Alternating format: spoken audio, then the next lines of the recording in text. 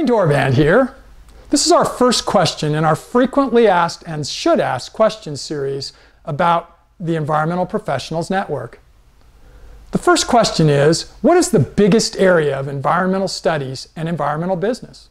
For example, is it water, air, soil, or other things? Well, I'm going to give kind of a uh, typical not answer answer. It's whatever you want it to be.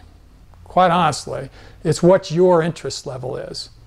If you're really interested in water, there are clearly huge water issues. We don't have enough water on the planet to be doing the kinds of things we're doing today and sustain them over a long period of time. Air. You've heard about global warming the fact that there are fears that we're going to see huge issues related to warming of the air. If that's a concern and interest of yours, then that's the biggest area of environmental studies and environmental business. Soils. We have contaminated soils all over the world. If you're interested in soils, then that's the biggest area of environmental studies and environmental business.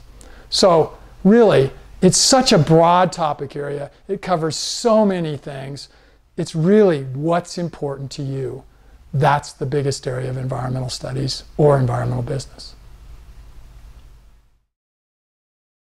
If you've enjoyed this video that you just watched regarding the Environmental Professionals Network, we've got a great gift for you.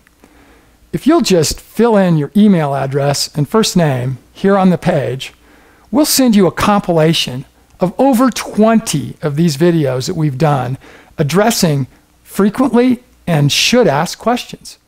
There's so much information here. We know you're going to greatly enjoy it. They're all compiled. You don't have to go to any extra effort. Again, just leave us your email address and first name, and we'll get those right out for you. We've also got another little bonus for you, too.